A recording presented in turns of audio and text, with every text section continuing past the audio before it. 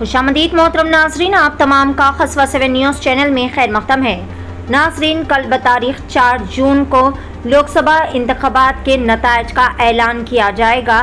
سبھی نظریں خصوصی طور پر حیدرآباد پارلیمانی سیٹ پر ٹکی ہوئی ہے، کیونکہ اس مرتبہ آل انڈیا مجلس اتحاد المسلمین پارٹی کے اپوزٹ میں کئی سارے میدان میں اترے ہیں، لیکن اس کے باوجود بھی آل انڈیا مجلس اتحاد المسلمین پارٹی سپریمو الحاج بیرسٹر اسد الدین اویسی کی جیت یقینی نظر آ رہی ہے۔ All India Majlis Ittehad Almuslimeen party کے سینئر لیڈر محمد نعیم اور ملک پیٹ سے M L A Ahmed Balala نے امید ظاہر کی ہے کہ اس مرتبہ بھی حیدرآباد پارلیمانی حلقے سے بیرسٹر اسد الدین اویسی کی جیت یقینی ہے، کیونکہ تمام عوام بیرسٹر اسد الدین اویسی کی بہترین خدمات کو خوب زیادہ پسند کرتے ہیں۔